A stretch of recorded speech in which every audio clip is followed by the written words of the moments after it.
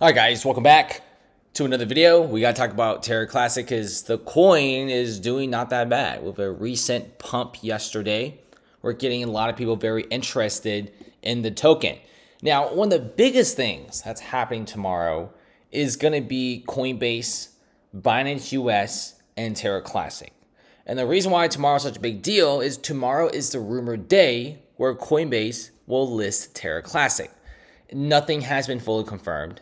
In fact, a lot of people don't even know where the original leak from, but apparently a lot of the big Luna guys around the world is saying that it's probably happening. Now, do I believe it if you ask me?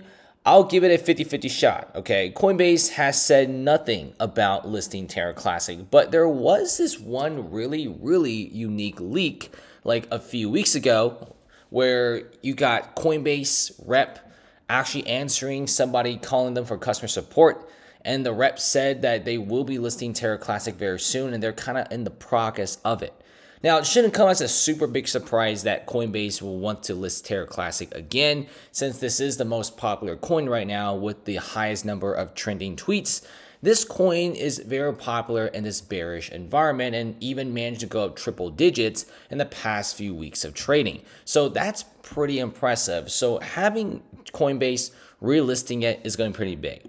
Another rumor is it could be Binance US tomorrow that's listing a coin, maybe even the next few weeks. Now, Binance is already listing Terra Classic, so why not Binance US? Okay, it just makes perfect sense and it's super simple. And also keep in mind that Terra Classic is a coin that's highly sensitive to massive fluctuations in news and catalysts. Like, for example, here, all Binance really did was make the burns from optional to mandatory. And then afterwards, it surged up a total of 100% in a very short amount of time, like a few days. That is pretty incredible. Thanks for watching, guys. And before I leave, make sure you guys get some free stocks. Click the Moomoo link below, make a brokerage account using a link, and then deposit $100 and get a bunch of free stocks. It's pretty nice.